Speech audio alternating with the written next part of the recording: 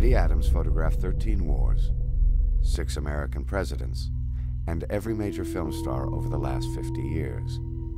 History would be changed through his lens.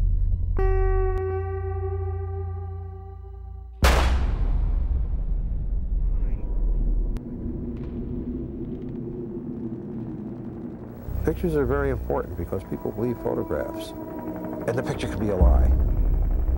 But that person, like we will, We'll look at that and it's real. It becomes real. It becomes a real thing. Either they say in the written word, bullshit. The picture is what does it.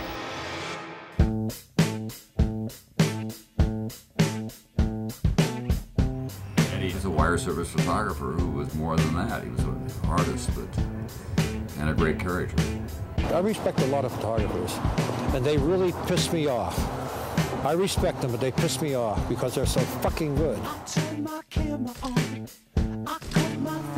Every single person truly thought they had this special relationship with Eddie. I mean, a guy walks in in a, a black shirt and a pair of beat-to-hell jeans, wearing a, a scruffy black cap, and yet he's standing there talking to a king, and the king is comfortable. Maybe when I make the perfect picture, I'll be happy.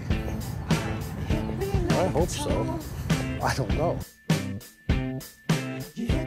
I think everybody who's known Eddie a long time liked him and recognized him best when he was bitching about something. But, but most often he was complaining that the world wasn't a better place.